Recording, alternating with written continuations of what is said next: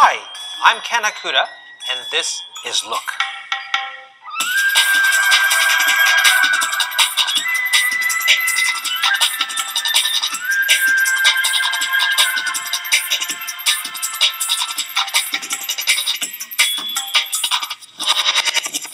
Look is a new weekly program from the Smithsonian about Asian Pacific American life and culture. Why look? Because the APA community merits a closer look. There are over 12 million Americans whose ancestors come from a vast stretch of the planet, from the Himalayas to the Hawaiian Islands. A few have just arrived.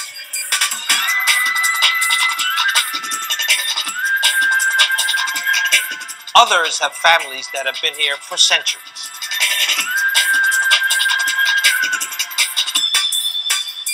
They brought lots of ideas and customs that have become part of the American culture. As for me, I was born in Korea, grew up in Japan, and came here when I was 14. But I'm 100% American. Like many APAs, I've left my own stamp on American culture. 20 years ago, I brought the Wacky Wall Walker from Japan to America. Today, the Wacky Wall Walker is in the Smithsonian along with other all-American toys like the hula hoop and the slinky. Each week, Look will cover fascinating people and trends in the rich cross-current between East and West.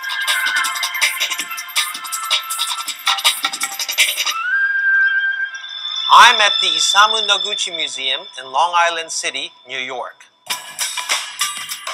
Noguchi was the son of a Japanese father and Caucasian mother who fused East and West in his art.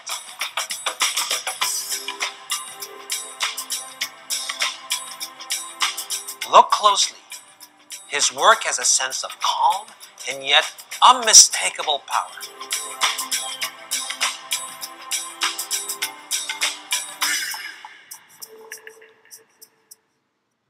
Across the United States, Asian Americans are finding ways to honor their heritage. Take a look.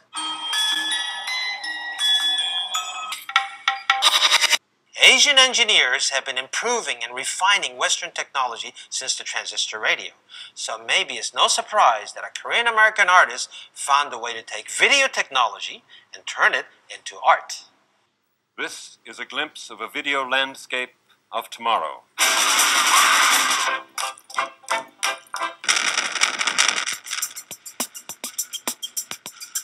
Nam June Paik was in the vanguard of one of the most important, if not the key development in 20th century art, and that is the impact of the moving image.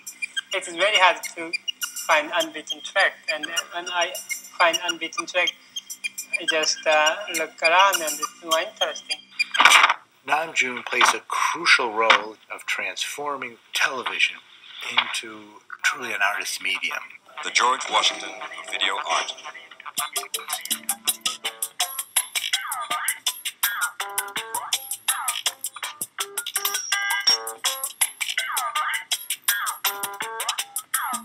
Nam June Paik is a truly global artist, and I think that his life and his career really define that idea.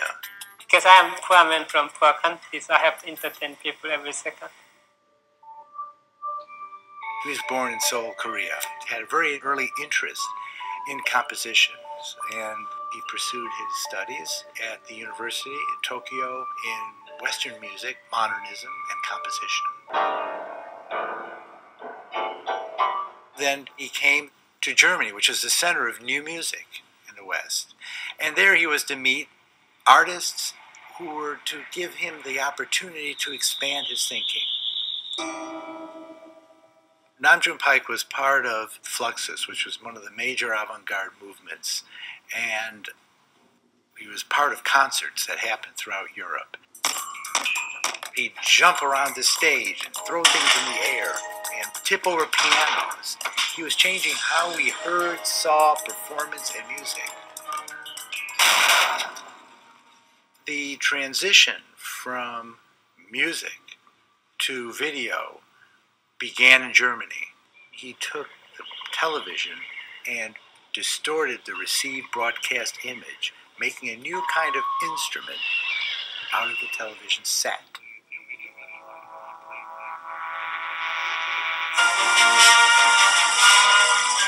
It was his movement from Europe to New York that set the stage for his truly global impact. No better stage for that than New York City. Actually, why New York made me maximal, I don't know. I was more minimal in Germany. Global Groove in 1973 was a celebration of global culture through global television. It was like an encyclopedia of how to work with the moving image. More? Central to Nam June Paik's is his playfulness. That idea of turning things inside out.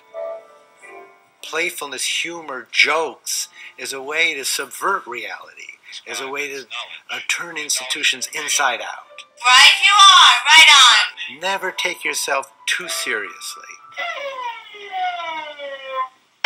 He began this extraordinary partnership with Charlotte Moorman. I went to Juilliard. I studied with the great Leonard Rose, but I met Nam June Paik.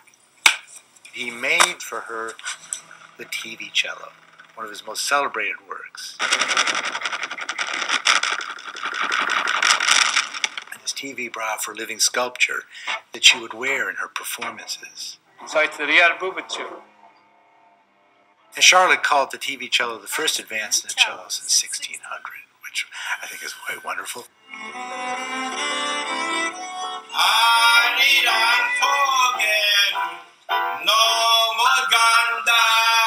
Today, he is older, in his 70s, and is reflecting a lot on his past and thinking about his art of the future. Meta 11, created recently in his Green Street studio, is a piece that uses some of his old images in a new format to reflect on New York, which has been at the center of his life and art. And that's the gift that Nam June gave us. He took that video camera and he said, by looking through it, I can change what one sees. And I can take that television, which is just this instrument in the home receiving information, I can remake it into something that can give us a whole new way of seeing the world, a whole new way of seeing art.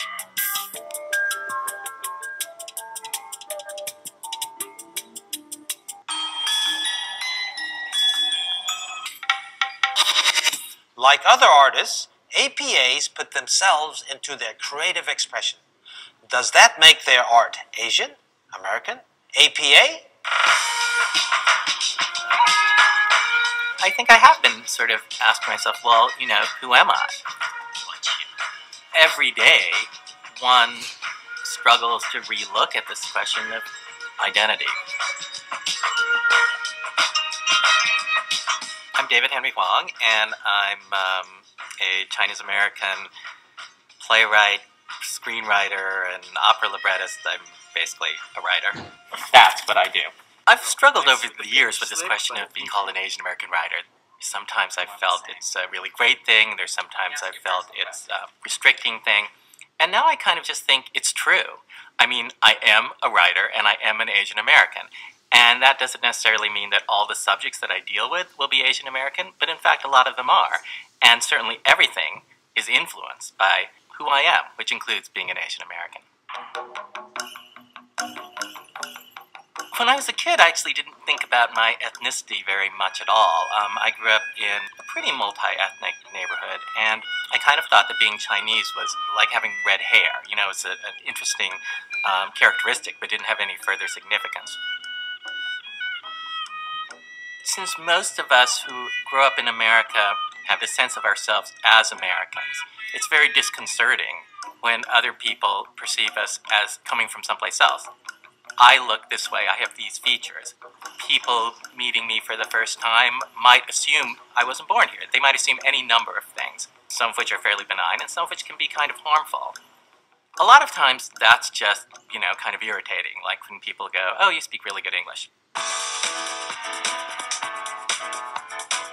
When I think about my parents and myself in relation to the images of Asians that we saw in film and television and mainstream American culture, those people looked like us, but they didn't seem to represent us. They didn't seem to have anything to do with the way that we felt uh, inside um, because they were either all good or all evil, but they weren't human beings.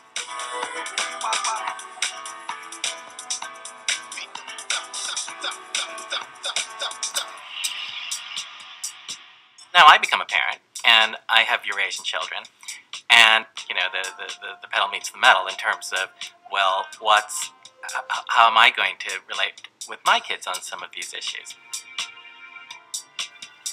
I sort of discovered my Asian Americanness, as it were, by uh, deciding to become a writer.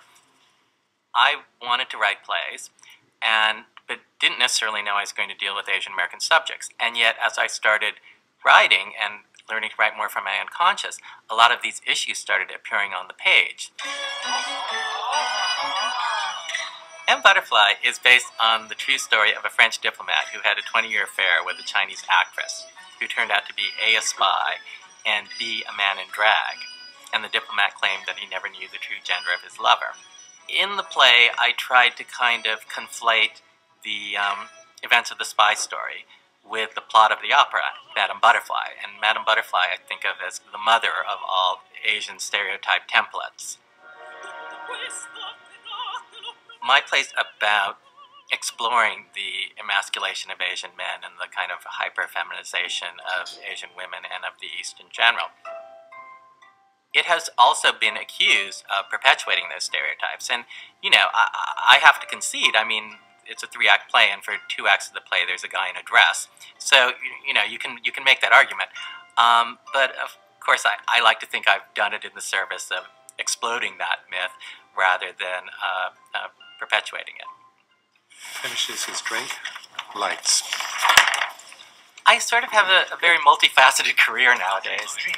I do plays of my own. I do, you know, Broadway musicals and operas and movies and just about anything that involves scripts. You know, when Disney called me up about doing Aida, I really struggled with it for the whole thing for a while and what did it all mean and, you know, selling out and all these kinds of issues um, let's not do this. We sent Abraham Ultimately, I felt, you know, there's something sort of cool about Disney looking at me not really as an Asian American writer, but as a writer, as somebody who had some skills that I could bring to their project. There's sort of two sides of that coin, that there's something comforting and seductive in being treated like that as well, or something safe. This whole issue of being mainstreamed, I mean, in, in, in some sense, that's authentic to the Asian American experience as well our relationship to the culture in general. It's a, it's a, it's a dynamic. Um, yes, the culture changes us, but hopefully we are also changing the culture.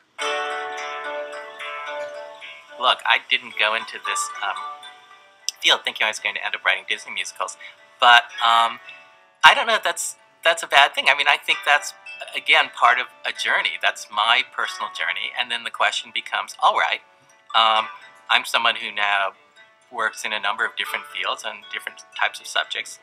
So now who am I? And I think that's still an interesting question.